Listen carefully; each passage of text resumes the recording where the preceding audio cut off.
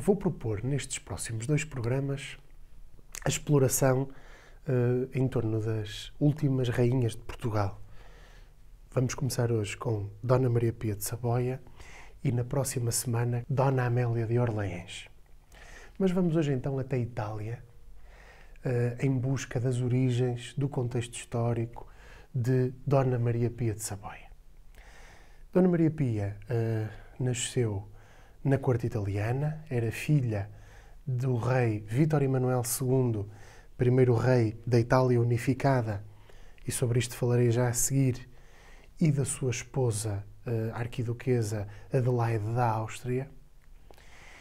E eh, Maria Pia cresceu num ambiente profundamente marcado pelo cosmopolitismo, eh, por uma grande devoção eh, aos espetáculos, à alta costura, ao carnaval, às festas. Portanto, num ambiente claramente, como disse, cosmopolita e boêmio. E com esta sua dupla costela italiana e austríaca, foi de facto uma mulher muito interessante. Uh, paradoxal, contraditória. Posso dizer que seja uma mulher que ou se gosta muito ou se odeia profundamente. Tem havido na, na historiografia portuguesa ecos dessas opiniões ao longo dos últimos dois séculos, uh, mas de facto importa, além daquilo que são as neblinas e os nevoeiros e as opiniões, o vox populi, uh, ir a uma compreensão científica da figura. Primeira coisa, Maria Pia é italiana, a Itália está, como disse, vem na ressaca de um processo de reunificação difícil. Recordemos que a Itália foi, historicamente, sempre ao longo da história, um conjunto de principados e de reinos divididos entre si. De norte a sul, vou-lhes dar alguns exemplos e podemos olhar até para o mapa da Península Itálica, por exemplo, no Renascimento, e ver que o que é que nós temos? Temos Saboia e Piemonte, que são os reinos mais uh, a oeste, ao ocidente, no norte, que vão ser, aliás, os pontas de lança desta unificação. Depois temos o poderosíssimo Ducado de Milão, disputado historicamente entre a França, entre a Espanha e outros principados e outros poderes centrais da Europa. Temos uh, no centro, bem no centro da, da bota italiana, os Estados Pontifícios, que desde o século I são uma realidade sendo construída ao longo do tempo e que são, no fundo, Estados que pertencem ao Papa. O Papa tinha sobre eles um poder feudal total uh, da administração. E são, aliás, estes Estados que vão estar na origem das contendas entre a Igreja e o Estado italiano em torno da unificação da Itália. Mas. Ah, e outra coisa, já me ia esquecendo. A sul temos que considerar o grande reino de Nápoles. A Sicília, a Sardenha, que eram estados também tradicionalmente disputados pela coroa de Aragão e pelos vizinhos do Mediterrâneo. Mas vamos então falar sobre o Papa e sobre os Estados Pontifícios. Pio IX, Papa que viveu a unificação italiana, Papa que convocou, entre outros, Concílio Vaticano I, em que nós temos um conjunto de definições dogmáticas muito importantes do cristianismo, como os dogmas do Sagrado Coração de Jesus, do Sagrado Coração de Maria, entre outras resoluções desse concílio, eh, foi o padrinho de batismo de Maria Pia. E ofereceu à infanta, segunda filha do casal Vitório Emanuel II e Adelaide da Áustria, a Rosa de Ouro, que é a maior uh, condecoração que o Estado Pontifício pode dar a alguém civil não religioso. Eh, é uma condecoração lindíssima, vamos ver a imagem, eh, e não há dúvida nenhuma que eh, isso foi um prenúncio de uma relação que nem sempre foi fácil, mas que foi inicialmente muito positiva. Recordemos que Vítor Emanuel foi reconhecido como rei de Itália por todos os príncipes italianos e eu esqueci-me de falar há bocado, cabeça, isto é de ser o fim do ano, no Principado de Veneza, Oriente, não é? o reino mais oriental, que também reconheceu Vítor Emanuel II, entre outros. Mas havia uma pedra no sapato. E essa pedra no sapato era a questão, por um lado, dos Estados da Igreja, que o rei propunha que terminassem, e a, o estatuto, a condição da cidade do Vaticano no meio disto tudo, no meio uh, de Roma, que, recorde-se, iria ser e é e foi a capital do Estado italiano. O Papa não admitia que uh, pusesse, fosse posta em causa o seu direito histórico uh, dentro da cidade do Vaticano e naquilo que é, digamos, o património de São Pedro, a herança dos Estados Pontifícios. O rei Vitório Emanuel acha que uh, essa, esse território, que sabemos hoje cerca de 44 uh, metros quadrados, sensivelmente, devia ser incorporado no Estado italiano. E, inclusivamente, que a Igreja também se tem que ceder uh, e, e, aproximar do poder civil. No meio destes, destas duas figuras aparece uma outra, de Giuseppe Garibaldi, o grande revolucionário da unificação italiana, uma figura muito interessante e uma figura que, uh, ao contrário do rei, uh, tinha um pouco de sangue quente, digamos assim. E ele propunha que uh, não houvesse negociação com, com o Vaticano. O que sabemos é isto. O Papa declarou-se durante cerca de 50 ou 60 anos prisioneiro na cidade do Vaticano, não reconheceu o Estado italiano.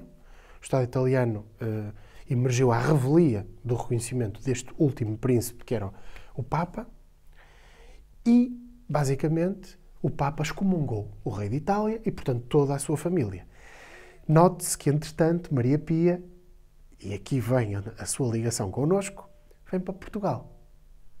Casa com o príncipe herdeiro, que nunca o seria, em virtude, em princípio, da continuação natural do nosso Dom Pedro V, que ainda há bocadinho falamos, recordam-se? Pois a morte prematura de Dom Pedro V levou a que o seu irmão Dom Luís assumisse o trono. Ele que estava na Marinha, ao serviço da Academia Naval, e que então vai casar com Maria Pia, que, eh, recorde-se, sobe ao trono como Rainha de Portugal com 15 anos de idade. O casamento de Luís e Maria Pia é feito numa igreja fabulosa, que vão ver já a seguir a Igreja de São Domingos, em Lisboa. Uma igreja que é em si própria um lugar de memória e um testemunho vivo, atuante e presente sempre dessa tragédia, dessa catástrofe enorme que foi o terremoto de 1755. Uma igreja que tem no seu interior todas as cicatrizes, todas as escaras desse terrível 1 de novembro, em que recordaremos houve não só um sismo, não só um maremoto, mas também um incêndio enorme, que afetou todas as igrejas da Baixa e, obviamente, São Domingos, que fica ao Rocio. Não há dúvida nenhuma que uh, este casamento tão bonito e do qual estamos a ver imagens é um momento muito importante e definidor do Reino de Portugal. Nós sabemos que as figuras com quem os nossos reis casam são uma escolha, uma escolha de uma aliança, uma escolha de um caminho. Ao escolher a Itália, Portugal quer duas coisas: reforçar as relações com um reino central na Europa, na definição da política europeia, e quer também aqui dar um sinal de abertura e de modernidade num período em que tanto o laicismo como uma certa separação entre a Igreja e o Estado se começavam a afirmar. Maria Pia aparece na corte com uma personalidade extremamente vincada, uma uh, mulher habituada a um alto padrão de vida e que, como sabemos, uh, veio para um país em dificuldades económicas. Um país com situações deficitárias na sua balança comercial e de pagamentos, um país com um rotativismo entre dois grandes partidos, Partido eh, Regenerador, mais conservador, e Partido Progressista, um pouco mais à esquerda. São estas as duas grandes tendências que se vão afirmar até 1910. E um reino que está hum, a precisar de uma esperança. O rei Dom Pedro V e a rainha Dona Estefânia seriam, em princípio, essa esperança, mas morreram muito novos e o reino ficou, mais uma vez, em suspenso. A tarefa de Luís e Maria Pia não era, portanto, fácil. Lidar com um pessoal político difícil, cheio de vícios, cheio de comendas e que dificultou muito a ação do rei Dom Luís. Mas há uma esperança. Chama-se Fontes Pereira de Melo.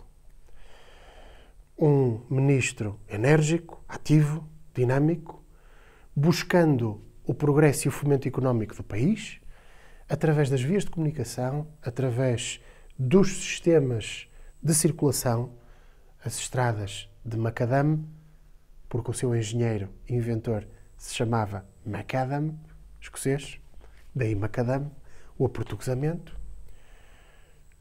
E tudo isto foi um período, de facto, em que nós nos abrimos à restante Europa, como se calhar em nenhum outro na nossa história, em que nós quisemos sair de uma condição periférica, mas em que obrigou, evidentemente, a contração de empréstimos, a voltados, a dívidas junto dos países credores, nomeadamente o Reino Unido, a Alemanha, os grandes bancos de então, o Banco Rothschild.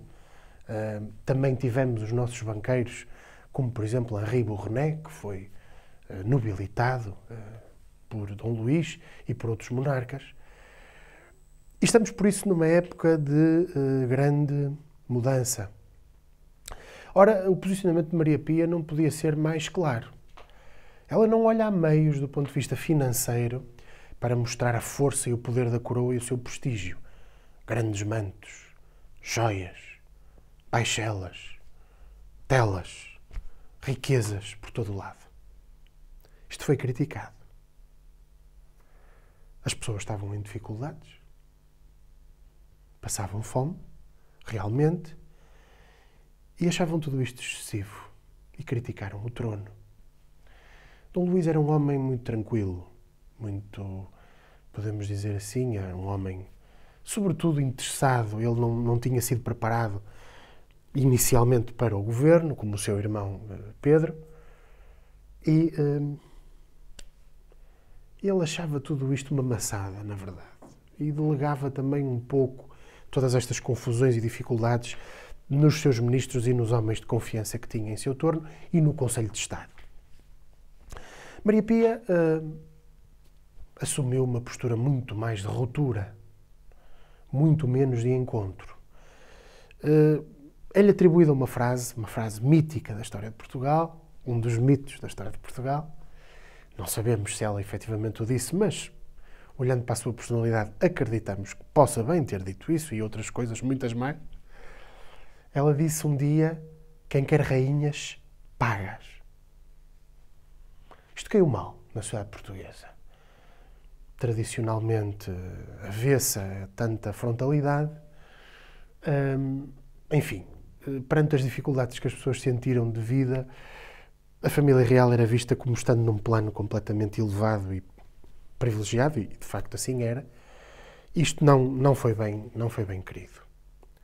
Uma das cidades que se posicionou na linha da frente desta contestação foi o Porto. Aliás, eh, é criado nesta altura o título de Duque do Porto. Título que já estava, podemos dizer assim, em banho-maria desde o liberalismo, desde Dom Pedro, desde a Guerra Civil, desde esse período fundamental em que a cidade do Porto, mais uma vez, como ao longo de toda a sua história, defendeu a identidade nacional e defendeu a independência nacional e a nossa libertação uh, uh, face à Espanha e outros poderes estrangeiros. E sempre, e o Porto tem esta marca, dentro da linha liberal. Ainda hoje, o Porto é uma cidade profundamente liberal. Vários pontos de vista. Hum, de facto, não caiu bem na cidade este tipo de coisas. Dona Maria tinha também uma dimensão interessante, que era a dimensão caritativa. Ela dava muito e apoiava muito, verdade seja dita, eh, as obras sociais de assistência aos pobres. Dedicou-se sobretudo a essa causa e à causa da infância. Ela cria uma das primeiras creches que temos em Portugal, que é a creche Vítor Emanuel na Tapada da Ajuda. O Hospital Pediátrico aqui da cidade do Porto tem também o seu nome, não é por acaso foi também uma das causas que ela abraçou. E uh, o Porto decidiu homenageá-la, tentando uma aproximação uh, com a edificação de duas pontes que ainda hoje existem e são marcantes na nossa paisagem urbana. A ponte Luís I, idealizada por Teófilo Seirig, engenheiro-chefe do projeto, discípulo de Gustave Eiffel, e um pouco mais abaixo, descendo dos guindais para as fontainhas, a ponte Maria Pia. Esta com uma contribuição grande de Gustave Eiffel, que aliás fez vasta obra em Portugal. Eu recordo aqui a ponte de Viana do Castelo, recordo aqui uma outra ponte em Barcelos, também da sua autoria, e recordo uh, esta linha, efetivamente, de progressos materiais que marca também este reinado de Maria Pia, para lá das joias, para lá dos dilemas, para lá das intrigas cortesãs. E este compromisso enorme uh, com uh, o progresso e a mudança. Mas uh, os reis cometeram um erro fatal. Não vieram à inauguração das pontes. E o povo do Porto não perdoa isso. Não esquece. A ponte, que se chamaria Dom Luís I, viu cair o Dom. E hoje, se lá forem, aliás, muito claro, está lá, a ponte chama-se apenas Luís I. O Porto, eh, como disse, guarda memórias, guarda sentimentos e guarda também fidelidades e aprecia quem lhe é fiel não tardará a que esta contestação suba de tom. Em 1871, o Marechal Duque de Saldanha, do qual já falamos, a propósito do contexto de Dona Maria II, hum, vai promover aquele que é o último ato político da sua carreira. Vai ao Palácio da Ajuda, residência da família real, aliás, um projeto profundamente beneficiado no reinado de Dom Luís I e de Maria Pia, e eh, numa tentativa de condicionar o monarca, a chamada saldanhada, procura que o rei o nomeie primeiro-ministro. O rei, eh, com a sua habitual bonomia, ouve Saldanha e vai decidir à saída do gabinete do rei, Dona Maria Pia surpreende Saldanha e diz-lhe o seguinte: Se eu fosse o rei, mandava-o fuzilar. Esta demonstração de desassombro, esta demonstração de grande coragem, é também uma característica indiscutível de Dona Maria Pia de Saboia. Termino o programa com a imagem da rainha, com a fotografia, como conhecemos dela, com a sua postura orgulhosa e vaidosa. Sim. Italiana. Sim. Mas de alguém que, apesar de ter visto o filho ser assassinado numa carruagem no dia 1 de fevereiro de 1908, falo, obviamente, de Dom Carlos I. Foi uma rainha que quis ser sepultada virada para Portugal, na Basílica de Superga, em Turim, onde ela tinha crescido, que era a cidade, na altura histórica, capital do Reino de Saboia. E, aliás, convido-vos a visitarem Turim, cidade encantadora. Ela foi depois trasladada para o Panteão dos Braganças, em São Vicente de Fora.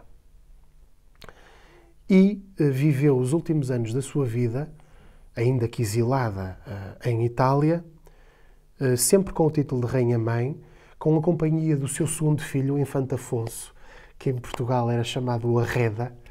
Ele gostava muito de automóveis de corrida e de velocidade. Aliás, acabou por ser trágico uh, a sua morte exatamente numa situação uh, dessas. Mas, para terminar, dizer apenas que Maria Pia, pese embora todas as contradições que lhe conhecemos, foi uma mulher que não teve medo. E muitas vezes de fazer as rupturas que se impunham. Foi gastadora? Talvez. Foi excessiva? Talvez foi fruto de um contexto e de um tempo indiscutível e também do seu berço e origem italiana. Muito obrigado e um ano de 2022 pleno e com todos os sucessos. Muito obrigado por nos seguirem.